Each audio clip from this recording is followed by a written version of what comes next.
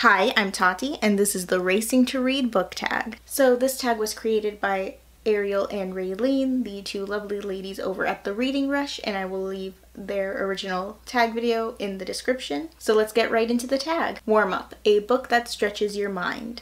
For this one, I'm going with Dear Ally, How Do You Write a Book by Ally Carter. As you may have guessed, this one is a nonfiction book about writing by one of my favorite authors, Ally Carter, who is the author of the Gallagher Girls series and High Society series and the Embassy Row trilogy and many other books that are great. Start line.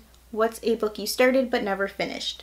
Unfortunately, I have a lot of books that could fit this prompt. However, one of them is actually on my TBR for the Reading Rush this year, and that is People Like Us by Dana Mele. So right now, this book does fit this prompt, but hopefully by the end of this week, it will no longer fit this prompt. Sprint, a book you read really quickly. For this one, I'm going with Neverworld Awake by Marisha Pessl.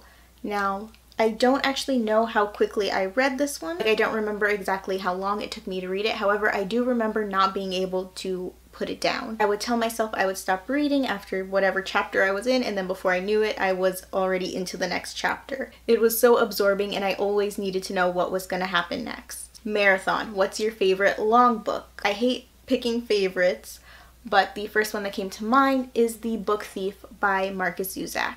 Hurdles. What's a book that had ups and downs? There were so many different ways that you can go with this prompt. I decided to go with The Long Game by Jennifer Lynn Barnes. This is the second book in her Fixer series. Now, there is so much that I love about this book. This is a 5 out of 5 star book. However, it also sets up so much potential that's never realized because there is no sequel to this book and I knew there wasn't going to be another book in the series, or at least that there wasn't one yet when I started reading it. So the whole time I was reading it, I had that in the back of my head. So it was a bit of a bittersweet read for me. Finish Line, a book you were proud to finish.